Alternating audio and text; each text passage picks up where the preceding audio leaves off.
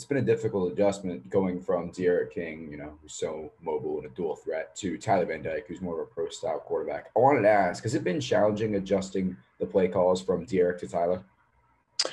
Um, I mean, I think the the challenge is you just learning a new quarterback, and I think um, it, it's not as much that you know one's more of a dual threat and one's not. Although you know Tyler's done some good things with his legs. Um, I've been fortunate to coach both kinds of guys and both fit in what we do. I think it's just been more learning. Each quarterback has kind of their own, you know, their own strengths, their own comfort zones. You get used to them. You know, you know what play calls they're best at in certain situations. Um, and then I think there's the probably just the chemistry with the guys they're playing with too. And so when you try to build your offense in the direction of one quarterback's strengths and you know you lose that quarterback, you bring in a new guy, you can start to learn and build around what he does well. But not only are you learning him and is he kind of getting comfortable, but the the guys around him are kind of learning him too and and maybe starting to do some things a little bit differently than maybe they were doing with the other guys. So um, you know, I think it's been a it's been a good process. Tyler's been great. He's um, you know, he's been improving, I think, each week. And I think, you know, at times we've started to kind of find that rhythm of what that should look like. Um, so hopefully we can continue to get more consistent. Hey, coach, um, two two areas. Uh, one on the on the running back situation. Um, what do you lose without having Cam? And um, obviously, how do you divide up the snaps now? What did you think of Jaylan? And as far as uh, Tyler goes, Manny Diaz said he can really wing the ball. He has a really strong arm. Uh, but you know, we saw there were there were some overthrows, some balls that weren't really accurately thrown. Is that do you think that's a lack of experience or nerves or what? What's the reason?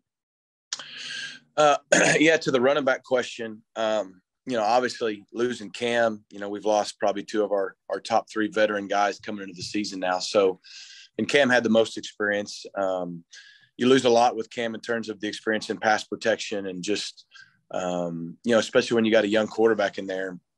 I mean, Cam knows the pass protections, you know, at this point to the level that, you know, if, if Tyler knows him too, but if he ever needed any help, I mean, Cam would be able to assist there. But just, um, you know, there's a lot that goes into it other than just running the football. So you lose that experience, you lose the depth. Um, you know, and you just hate it for Cam, just like you did for Don, to lose two uh, guys who were expecting to have a great season. And uh, fortunately for us, you know, we do have Jaylan. I thought Jaylan played really well the other day. Um, you know, we got Cody Brown and Thad Franklin. So, um, you know, those will be the three guys that uh, are getting the bulk of the work now. And I think, you know, Jaylan's got the most experience. He's explosive. He did some really good things. And uh, I think, you know, Cody's got his feet wet this year, and, and you'll see him and Thad now down the stretch as well. Uh, with regards to the quarterback question, um, you know, I think probably early in a game it could be more nerves.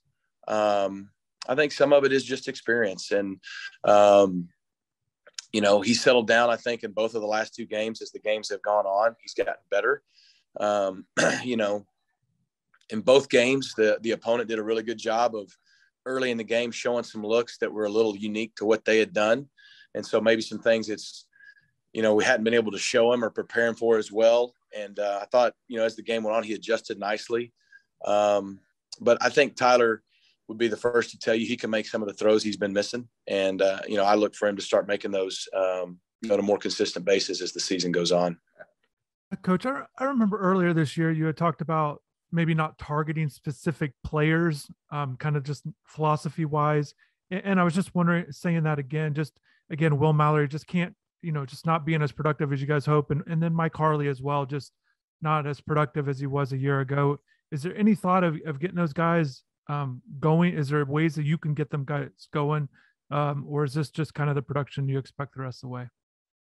Uh, no, I think I think there is. I think you know it's stuff that doesn't show up, in the stat sheet with regards to Mike Harley. I mean, I think we targeted Mike down the field several times, and and either the ball was tipped away or you know knocked down or pass interference or whatever may have you. Um, there was a couple times he was probably um, going to be the primary guy, and and on a third down scenario where they, we got some pressure. So you know, if a guy only has three or four catches, it's always easy to say, hey, you're not targeting a guy, but he may have been targeted, you know, 10 times throughout the game. And some games, those guys get seven or eight of those targets. Some games it doesn't go that way. You also got a new quarterback that, um, you know, is getting adjusted to those guys. And so sometimes you may call a play and it, it goes to someone else, um, you know. So Uh, yeah, we want to keep Mike going. Uh, I think Xavier Restrepo does a good job too. So um, there's no intentionality to not get him going. And, uh, you know, we fully expect him to continue to make plays and, and hopefully even more than maybe say were made Saturday, but uh, and get more opportunities his way. With regards to Will, you know, I thought Will made a really good play on the slant and, and got a first down for us. That was good to see. And, um, you know, just the way the game plan went. Yeah, there was opportunities for Will. We threw tried to throw him the ball in the end zone.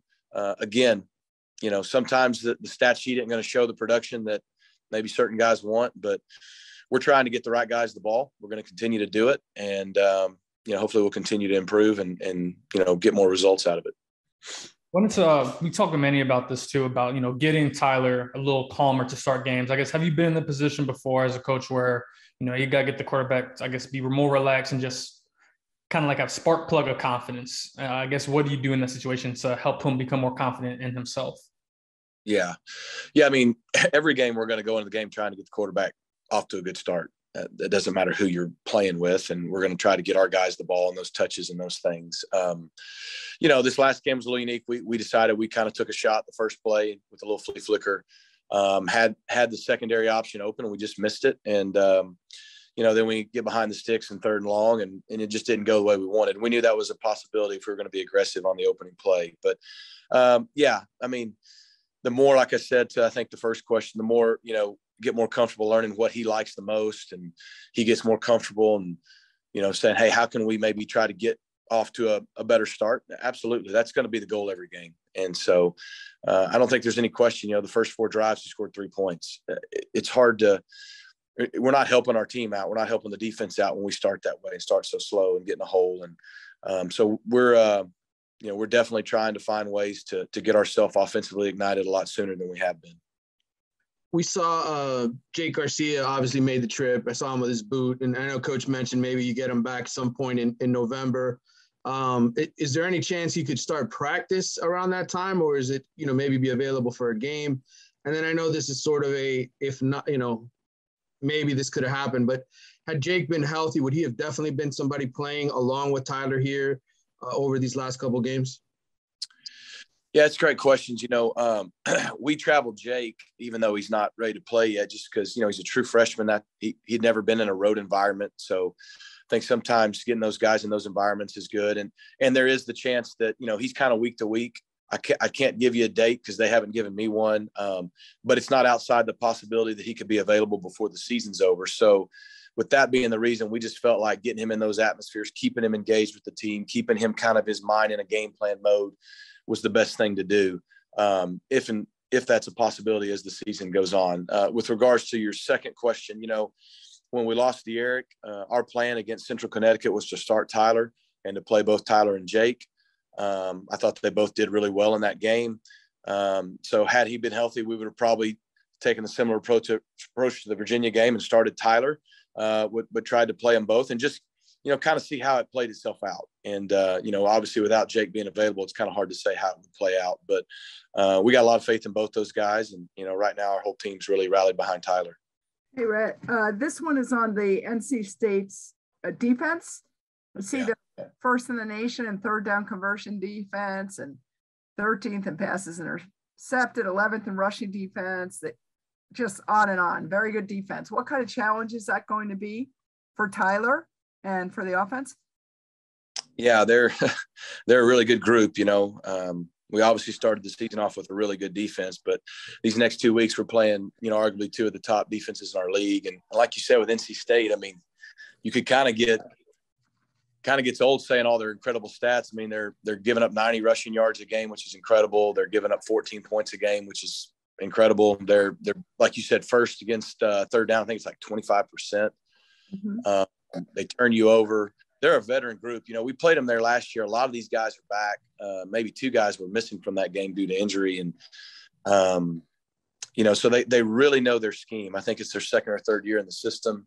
It's a really unique scheme. It's an odd stack scheme, which um, you know a lot of people don't play that anymore. And so, you know, we think we said this a year ago. It's a unique scheme. Those guys know that scheme so well. They do a great job of with that scheme really stopping the run as their stats show you. But I mean, they're only giving up 200 yards a game in passing as well because when you're in that odd scheme, you, you really are able to fit the run in a way that still, once you read pass, gives you an extra defender underneath against the pass. And they do a really, really good job mixing up those looks.